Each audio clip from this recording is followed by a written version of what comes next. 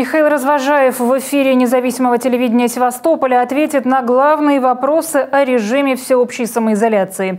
С 1 апреля в нашем городе введены жесткие карантинные меры, чтобы не допустить распространения коронавируса. С четверга людей, вышедших на улицу без уважительной причины, прописанной в указе, будут штрафовать. Как будет обеспечена жизнь города на время карантина, кого не касается указ, как будет работать транспорт, какие магазины будут работать и многое другое в расширенном интервью с Михаилом Развожаевым. Смотрите на телеканале НТС сегодня в 19.30, сразу после выпуска новостей. Запись будет доступна на сайте nts-tv.com и на YouTube-канале, а также на наших страницах ВКонтакте, в Фейсбуке и в Одноклассниках.